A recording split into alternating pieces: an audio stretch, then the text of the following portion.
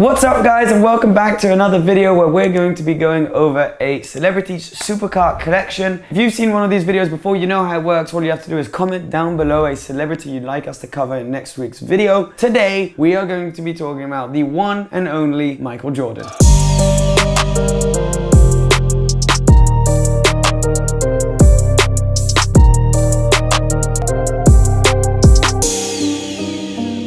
Now, no introduction necessary for this one. Michael Jordan, one of the most legendary athletes of all time, if not the greatest basketball player of all time. With a net worth estimated at over $2.1 billion, he definitely has plenty of money to play around with and to buy nice cars with. He's clearly a big, you know, car guy. He's had car cars for many, many, many years. Uh, he's made a bunch of money, obviously, through his basketball career and endorsements there. But most of his fortune actually comes through his partnership with Nike and his shoe line Air Jordans. Michael's had a bunch of cars. We're going to be talking about McLaren SLR 722, bunch of Chevrolet Corvette, and loads of cars which I'm not, it's very hard to confirm what he's got. There are so many rumors of cars that he's got or had, uh, but there aren't actually photos to confirm. So I'm gonna start now with all of the cars which are confirmed. There's photos of him with them. And then at the end of the video, I'm just gonna list off a few which he's rumored to have had. First car we know he had was when he first signed with the Chicago Bulls. He got a contract with a local Chevrolet garage and had to do a few little advertisement pieces for them, marketing pieces, and in return he received a Chevrolet Corvette C4. Now obviously classic American V8 Chevrolet Corvette, but he did not stop there. He later on, when he could, bought himself a Chevrolet Corvette ZR1, which is a more powerful and actually more rare in his case because he bought a limited edition of Chevrolet Corvette. There were only 200 of his ever made in a really nice burgundy color. And he was actually seen driving this around a lot, showing up to practice in this. You can actually see it in The Last Dance, which is a documentary by Netflix, uh, which is really popular at the moment. And I think probably one of the main reasons why people are commenting about his car collection on our videos at the moment. It's a great documentary. If you guys haven't seen it, I highly recommend it. He went straight from Chevrolet Corvette to kind of the polar opposite because Chevrolet Corvette's like the classic American, brutal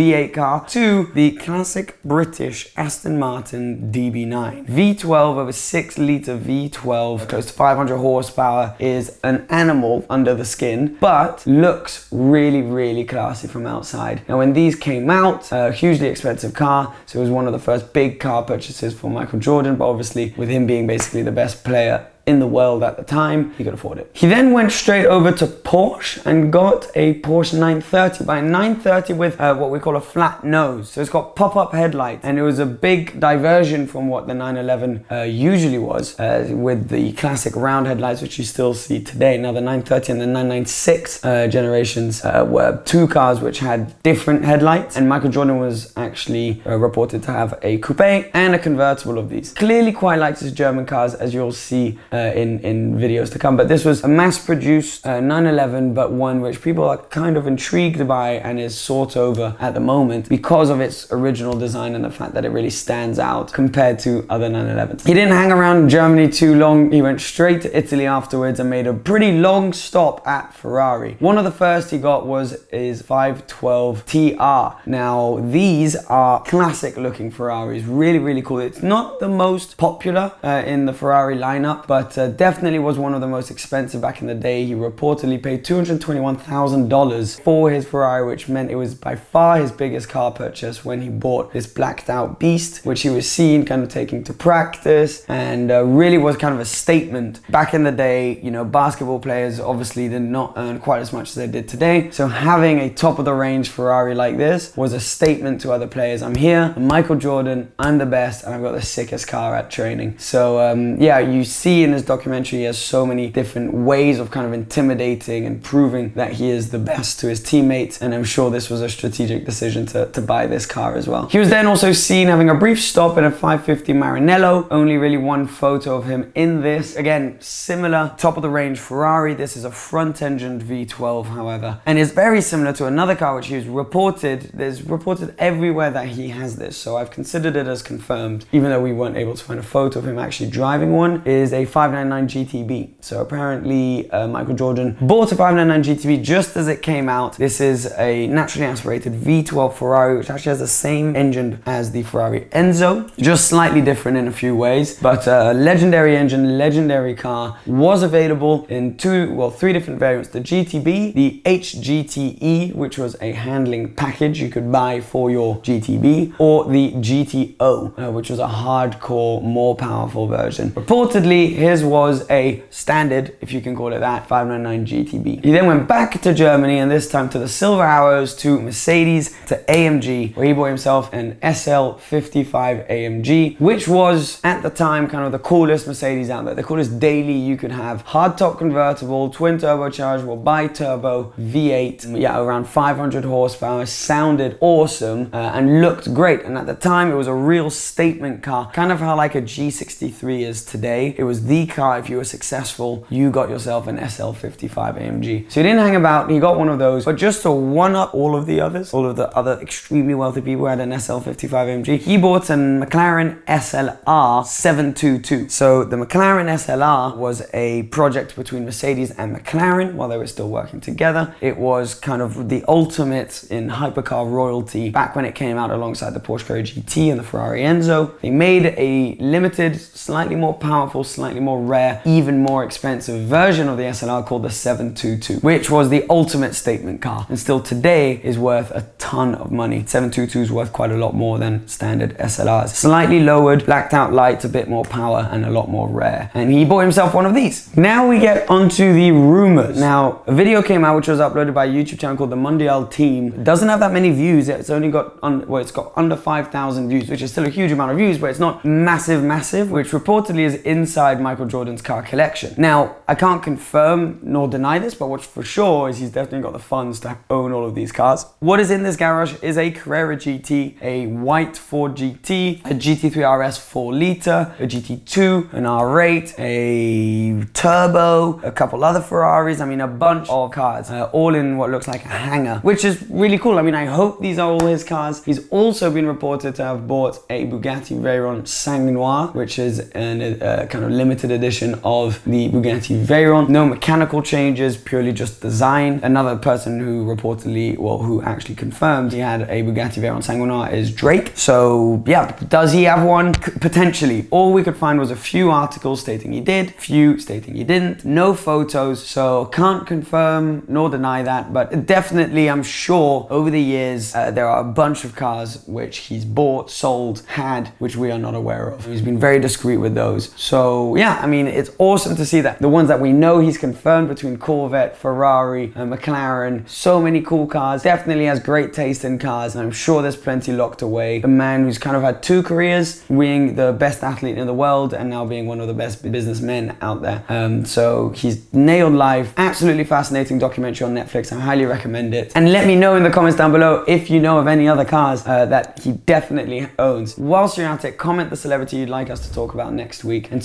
subscribe if you are not already. Thank you for watching as always, and I'll see you very soon. Cheers, guys. Bye bye.